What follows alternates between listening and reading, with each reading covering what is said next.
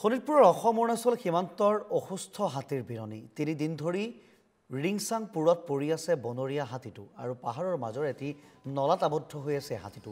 বন বিভাগে হাতীটোৰ চিকিৎসা কৰি আছে। অৱশ্যে বৰ্তমানে সুস্থ হৈ উঠা নাই হাতীটো। বন বিভাগে জনোৱা মতে আগঠেং দুখনে কাম কৰা নাই হাতীটোৰ আৰু এইদৰে পাহাৰৰ মাজৰ এটি নলাত আবদ্ধ হৈ এইদৰে কাটৰ সময় কটোৱা পৰিলক্ষিত হৈছে। হাতীটোৱে দেখুৱাইছোঁ সেই দৃশ্যাংশ অসু- অসুস্থ হাতীৰ এতিয়া বিননি শুনিবলৈ পোৱা গৈছে।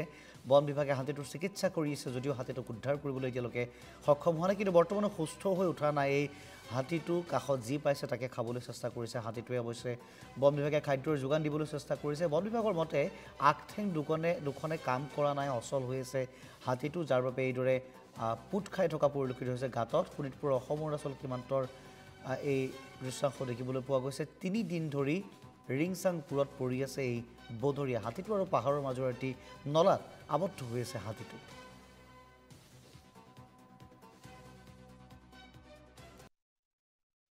ঘটনা আমি পৰহি ইয়াৰ স্থানীয় যুৱক এজনে আমাক ফোন কৰে।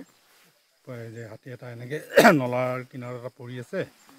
তেতিয়া আমি আমাৰ ষ্টাফ লগে লগে আহে ইয়ালৈ। আহি চিটুৱেশ্যনটো চাই চিটুৱেশ্যনটো চাই কিনে আমি ডি এফক এনেকৈ ৰিপৰ্ট এটা দিওঁ। কাজিৰঙাৰ লগত যোগাযোগ কৰি কাজিৰঙাৰ ৰেস্কিউ চেণ্টাৰৰ পৰা ডক্টৰ আজি আহিছে। তেওঁলোকে বেজী দিব চেষ্টা কৰিছিলে কিন্তু হাতীটো অলপ পটককৈ ঘূৰি দিয়ে বেজী দিব সুবিধা নাপালে। গতিকে এতিয়া তেখেতে ক'লে প্ৰেছক্ৰিপশ্যন দিম বুলি কৈছে সেইমতে। আমি দৰৱ এই কলৰ মাজত সোমাই অৰেলি খুৱাব লাগিব। কেইদিনমান হ'ল ইয়াতে এইটো আমি পৰহিৰ পৰা গম পাওঁ। আচলতে হৈছে কি হাতীটো?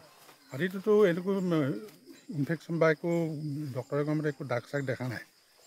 ক'ৰবাত পৰি কিনে দুখ পাইছে নহ'লে বনৰীয়া হাতীয়ে মাৰিছে তেনেকুৱা কিবা এটা হ'ব। আগঠেং কেইটা কাম নকৰে হাক ঠেং দুইটাই কাম নকৰে